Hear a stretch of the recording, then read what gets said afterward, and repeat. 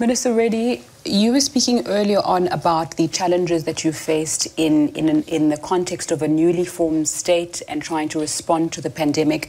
Just talk to me then about how do we future-proof health systems against those kind of pandemics that you've spoken about from a governance perspective as well? As I said uh, earlier, governments would have to be focusing on two things. One is preventive, one is preventive care, and the other is curative care. And looking at this from the uh, from the lens of uh, uh, how to improve this uh, healthcare, one would have to be talking about availability, accessibility of healthcare, and also affordability of healthcare. All these three would have to be moving in line.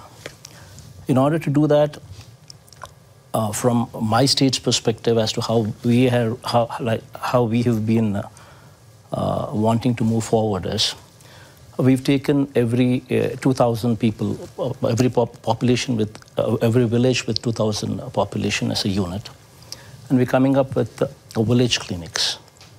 Okay. And then we're taking up every 30,000 population as a unit as a, a unit and uh, uh, classifying it as mandal, and where we're coming up with uh, two PHCs, primary health centers.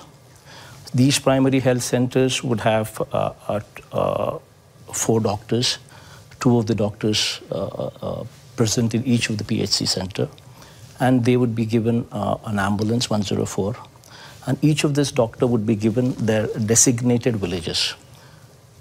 So five villages or four villages, depending on the mandal size, to each of these doctors. And these doctors, every alternate day, would hop onto the ambulance and visit the village. And they would become the family doctor for that village. Very soon, the doctors, because they've been de designated only those four villages, so they would start to identify people by names, and they would use this village clinic as a hub. This village clinic primarily would be having an ANM, uh, nursing graduate, uh, mid-level health practitioner, and ASHA workers that we spoke about also reporting there. So that would take care of the, the preventive part. Now comes the curative part. The curative part would be dealing with uh, uh, the community, with uh, district hospitals, the teaching hospitals, the area, hosp area hospitals and the teaching hospitals are going to play a very critical role there.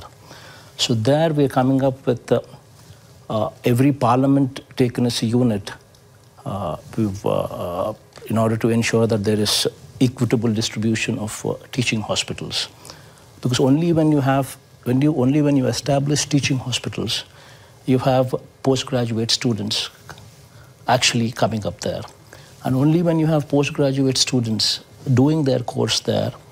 And these uh, teaching hospitals are connected to a, a, hospital, a teaching hospital as well. So teaching college and teaching hospital together would become the tertiary care that we're, that we are looking for. Okay.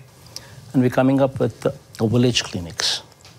Okay. And then uh, we're taking up every 30,000 population as a unit, as a, a unit and uh, uh, classifying it as mandal, and where we're coming up with two PHCs, uh, primary health centers.